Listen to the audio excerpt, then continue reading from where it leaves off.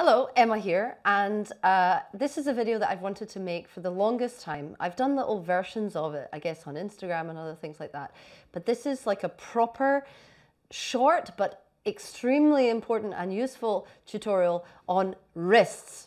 If you do Vinyasa Yoga or Ashtanga Vinyasa Yoga or any other form of yoga where you do planks and downward facing dogs and upward facing dogs and chaturangas, then I'm sure at some point you have encountered wrist pain or uh, the classic, uh, my yoga mat is not uh, sticky enough dilemma where you're slipping on your mat like this. And I'm here to tell you that all of those problems don't have to be in your practice at all. I've got a few exercises which are going to help you to uh, find strength, stability, mobility in your wrists, elbows, and shoulders.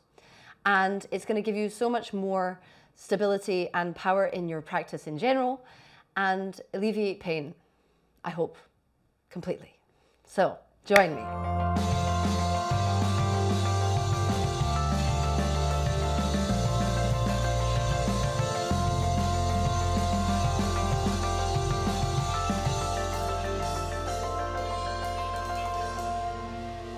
So what we're going to do, we'll start with some warm-ups, then we're going to do some stretches, I guess, for the wrists or increasing the range of motion and mobility of the wrists.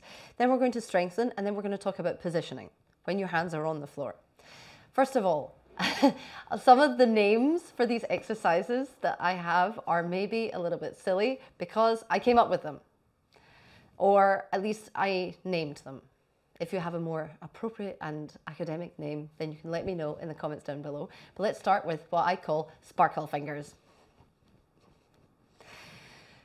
So uh, this may seem like a silly thing to do, but it's actually very important uh, and very effective. So what I'm doing, I notice also when I teach this in a class, people tend to all do it in a different way because you can think about your fingers going out or you could think about your fingers coming in, like you're grabbing something, or like you're kind of flicking water off your fingers. Both of those are effective. But what I'd like you to do is feel like it's coming from the center of the palm. So basically we're creating uh, like a flexion and extension through the palm of the hand. So we want to actually warm up the whole of the hand. You could even do this wavy. There's lots of silly things that you can do with your fingers that look silly, but actually are very useful. If you are doing this with me now, then you'll start to feel that there's a pleasant warmth around the actual wrist and the forearm. And this is how, this is our little warm up for the fingers and the wrists, improving also our dexterity. Okay, the second, I guess, warm up that we'll do, which is also um, going to stand us in good stead as we go on, is practicing taking the hands onto the floor. Now we're not going to load them yet, so you can just sit behind your hands. Take your hands onto the floor and feel like you spread your fingers as wide as you can. So I, for a long time, I felt like, oh, I was kind of putting my hands on the floor, but my teachers encouraged me to really spread my fingers. And now I have found that this is extremely effective in giving a strong foundation. First of all, you're taking up more space. Uh, that's probably obvious. But also, as you do that, you can probably start to feel that there's an energy that goes into the hand when you take it onto the floor in this way. Good. And it's also, you can maybe start to feel that you're spreading across the span of the palm of your hand, which is also useful. You want to feel like you have control over your fingers, over your knuckles, over your palm of your hand, because it's not just like one block of like a cartoon character. We have dexterity. We have 26 bones in each hand, uh, thereabouts. So um, we want to be able to manipulate all of them. So the second thing we'll do is progressing from taking the hands onto the mat. We're going to start to stretch, I guess, or improve the range of motion in your wrists. So this is a really great way to uh, warm up, in particular in cold weather when your joints are feeling a little bit stiffer. We take again the hands onto the floor and um, spreading the fingers nice and wide and making sure you've got a good strong relationship with the floor. So the fingers spread and pushing down. We're going to start to make circles around the wrists. The hands stay on the floor, and as you move your shoulders front and back, we move the weight around. And so it's going to put load in different parts of the wrist. And as with time, you'll find that you can like increase this. Uh, now, as I'm doing this, I'm not just kind of dumping into the hands. I'm still feeling like I'm pressing into the pads of the fingers. We'll talk more about that as we talk about positioning. But this is how you can kind of also start to feel like you're mitigating the load in your wrist is as you press into the pads of the fingers, even when you're like leaning forward and creating that big flexion, look at that in the wrist, then uh, you're going to feel like you actually take some of the pressure off the wrist itself. cool. So what we can do now is take the hands to face out to the outside edges of the mat. And again, move from left to right. So move within a range of motion that feels okay for you, obviously. Don't do anything that feels unpleasant or rather painful. Might feel slightly challenging, that's okay. And then we can start to turn the hands if you have the range or you test your range, see if you can turn the palms all the way back to face you. And it looks unnatural because it's something we don't do, but it's also something which is uh, useful to kind of increase this range. So this might be enough. Um, from here, you might even start to sink your hips back a little bit. I haven't done this particular one for a wee while, so it's feeling a little bit more creaky than I'm used to. But it's good. So you take your time, right? And notice that these things can go up and down. That's all good. It's totally fine. We just want to work in a safe way. Ah, okay, nice. So you take your weight forward in order to return the hands back to the original position. And then from here, because we've done quite a lot of flexion, we're going to swap it over and take the back of the hand to the floor. And as you do this, now the fingers and thumbs are still trying to spread and press down. Ah, good. Okay, so let's release that for a second. And now we shake the hands out. Again, bending into the fingers is a really nice way to actually release some of this, like that. And the other classic thing that you can do to warm up the wrist is to interlace the fingers into a fist and then do what I call the disco ball, which is again not maybe the most official name, but it feels good. You try to keep the wrists close together and the palms of the hands close together as you move in a circle in one direction and then the other. Okay, great. So now we're sitting here. You can sit any way you like or on a block or something. Um, that's totally cool. Let's talk about the position of the hands on the floor. And now we're going to move into some strengthening exercises. Uh, but before we do it, take your hands out in front of you, if you will. I'm going to turn around so you can see. If you extend your arms out and you push your hands like you're going, stop in the name of love, um, then try to pull your fingers back towards you, fingers straight, as much as possible. You'll feel the top here of your forearm. And notice how much active range of motion you have got without you. So I'm showing here now, if you started to add some external force onto it, you'd feel like you suddenly get more. So this hand is like the floor. But naturally, this is about where it goes to. Or notice where it goes to on you. And then you might be less surprised that it feels challenging to do this because it's not something that you have in your active range of motion. So how can we actually start to improve this and increase it? First of all, we practice doing this. And then my other favorite exercise, which I call Spider-Man, because you take the hands out in front of you, palms facing up, and then it's like you shoot spider out of your wrists. right? A rich imagination, you know, goes a long way. So here we're spreading the fingers again. Now try to keep your arms straight and your fingers straight as you bring the palm to face up and then directly towards you. Ah, oh. now this is really good because this is the part. Um, we're strengthening both the front and the back of the forearm. Woo!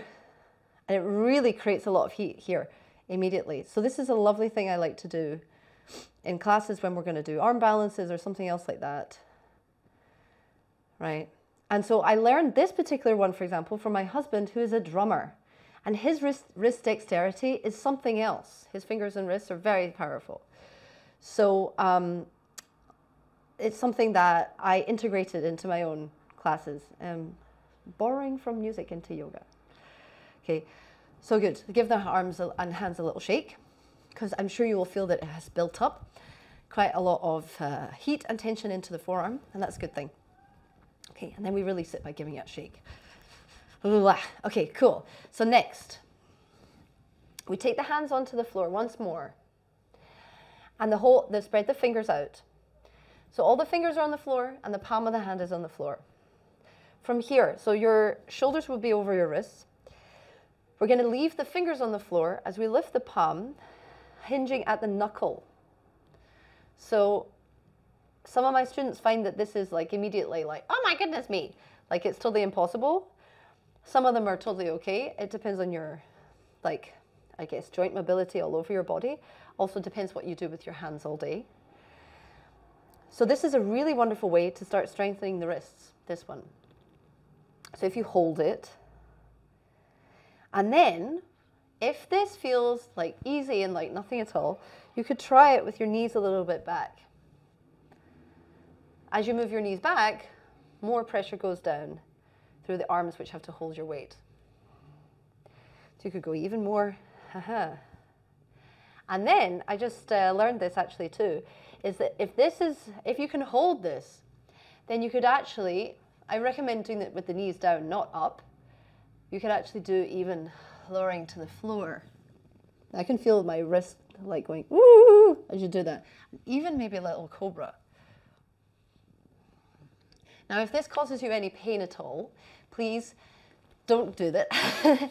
Stay at like level one, which is here. So I've gone ahead very quickly and gone, blah, blah, blah, here are all the many options that you can do. But you can start just by finding this lift of the palm. Nice.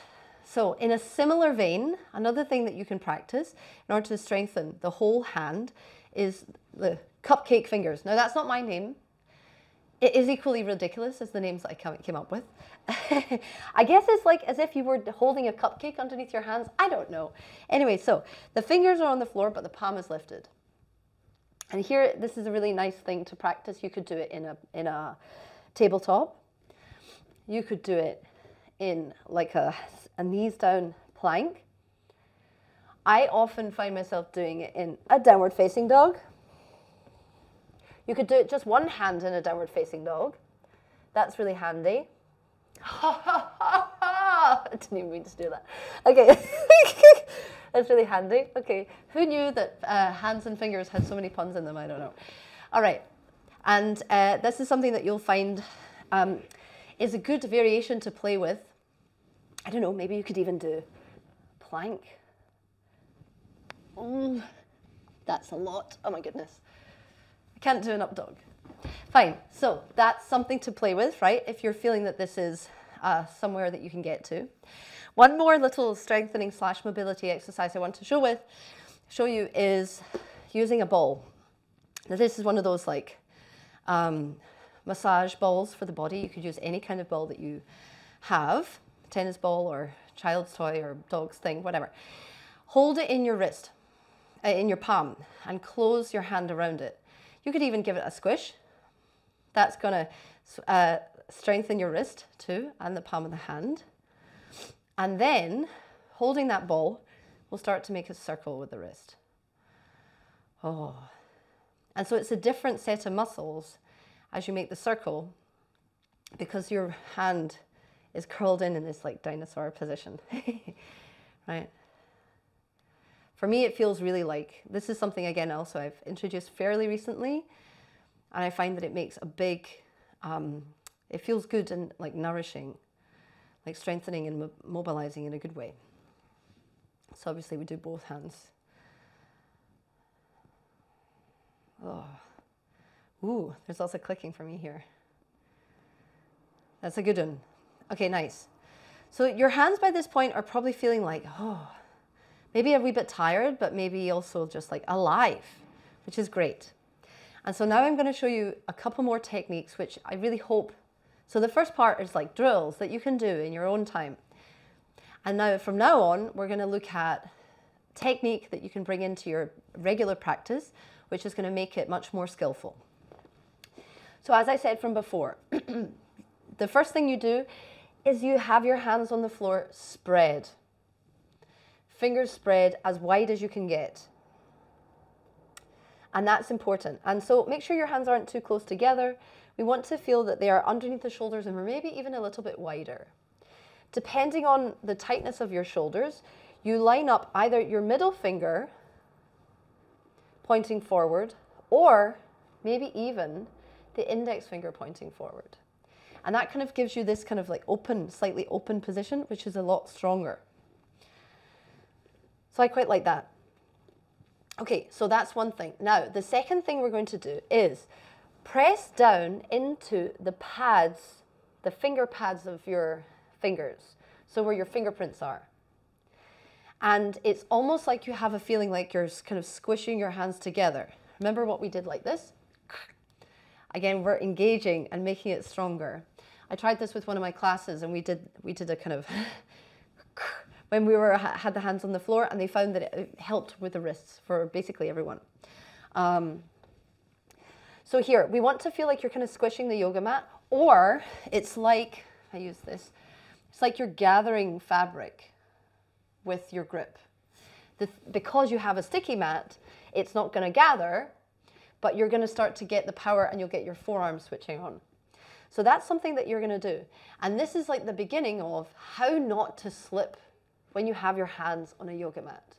Many of my students complain when they have a brand new mat. They're like, oh no, and then they take their hands onto the floor in order to not slip. I'm like, dude, you don't have to do that. I know some mats are slippier than others, but you should be able to hold yourself everywhere. And you will be able to if you grip. So we grip the mat like you're gathering it together. And you grip, or rather, feel like you hug your arms together. And you'll feel that the forearms switch on and the shoulders and maybe even the pecs. Okay, that's a wonderful thing to do. Now, we've got hands, we've got uh, forearms. Let's move up the arm. You might see that here I have a little what we call a micro bend in the elbow. So it's not locked out. We're not collapsing down. When it's locked out, the weight goes straight through the joint, into the wrist. You can also see that there's more pressure going into this. You can even see the color maybe of the wrist. But if I put a little bend in, I get more space in this joint and this joint. And it means that you can find the shoulder. If you lock your arms, if you try, how much can you push up into your shoulder? So if you push against the floor, how much movement do you have? Try it. And then if you bend into the elbow, whoa, suddenly there's much more space of movement into the shoulder. And this is the key thing, is that if you're holding onto the mat, put a little bend into your elbow. If you lift up into the shoulders, suddenly it feels like you've got less weight going down through your hands, which is a key thing to having less uh, pressure and pain in the wrist. So it's, all, it's like you're holding your weight in your shoulders here. Now, obviously, in a tabletop, that's easier but we should be able to do it in a plank as well. So in your plank, uh, first of all, you have your legs on, your core on. You're gripping the yoga mat with your hands, squishing it, hugging the forearms towards each other, and then lifting up through the shoulders. So then it actually becomes a lot easier than if you just let your weight go down through the joints. Oh suddenly it feels exhausting. But if you're elevated and you're engaged, then it's like you're levitating. Yes. So if your wrist's a little bit tired, because this is a lot all in one go, give them a little shake. And then I have just one more thing to show you, which is downward facing dog. Uh, very similar to the plank, in fact. The only difference is that your weight is going back the way. And so we're going to be pushing. And the other difference is is that whereas in a plank, your shoulders are over your wrists, obviously in a downward facing dog, your shoulders are here and your hands are here. so we have the fingers spread. Now, there's an interesting thing that happens in downward facing dog, which I'm sure you're aware of, is that we want to be protracting the shoulders because it makes them stronger and it gives us space for the neck. If I turn around this way, sometimes, and in particular, I, at the beginning, had my shoulders rolling in quite a lot, but I have over time strengthened my shoulders to be able to. Now, my shoulders are naturally quite narrow, so it still looks like they're quite close together, but it's much better if I power them up, push, you have more space in the neck. Uh, now, sometimes when you do that, it sometimes feels like the index finger knuckle lifts up off the floor because your arms are externally rotating, so your hand wants to lift. Fight to get that index finger knuckle down because that's the thing that's going to take the weight out of your wrists. So if we come back again to our table position, we have the index finger knuckle pressing, all the pads of the fingers pressing, and gripping the mat with your hands. You can have the index finger knuckle facing forward. And then grip, grip, grip. And then, just like in the plank, can you feel like your forearms hug together? So I like to think about the elbows slightly pointing out towards the lateral sides, left and right, and then spinning down towards the floor. That's going to engage around the armpit. And then we have, through a bent elbow, more space to push through the shoulder. The other thing about downward facing dog is the shorter your dog, the less you have to push through your shoulders. So if you want to challenge yourself with it, lengthen your stance. Okay, that's all I'm going to share for now because you could easily start talking about the core and how what else you need to switch on and no, no, no. But I think that that's already quite a lot of information and plenty of stuff to try out. So please do let me know how you get on. And if you have any questions or concerns, I'd love to hear them down below. Um, and I hope that that helps having a better relationship with your hands on the floor. And happy flowing. See you soon.